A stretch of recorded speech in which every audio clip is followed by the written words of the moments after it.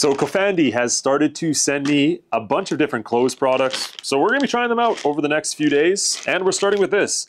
I think it's a sweater. I, I actually can't tell from the packaging. They just sent me random men's stuff. So it's a large size. I'm a large guy. Let's try it out. Oh, it's like a, a suit. Interesting. Check this out. Oh, it's like a blazer top.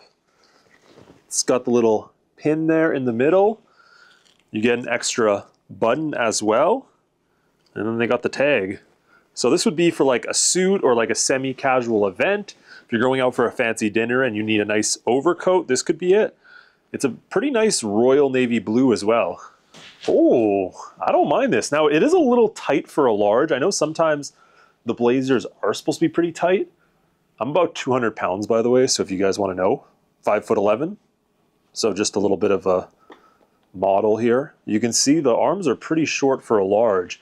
But again, if you're wearing like a tight button-up shirt underneath, this will have a good look to it. And just for length, it goes just below my waist, probably about a foot, I would say. Um, it's got a bunch of different pockets on it. So you got this top pocket right here. And on the bottom, you have a zipper pocket. Is it a zipper pocket? No, it's not. Oh, yeah, it is. I just can't find the zipper. Zipper pocket, and then on this other side, just a little I think this one's just for design though. Inside has a nice silky material as well, so it's pretty soft, but you guys let me know. What do you think of it?